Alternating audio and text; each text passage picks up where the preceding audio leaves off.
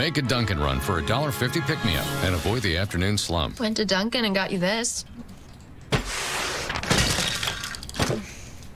Get a $1.50 medium iced coffee from 2 to 6 p.m. Try it in smooth Irish cream flavor. America runs on Dunkin'.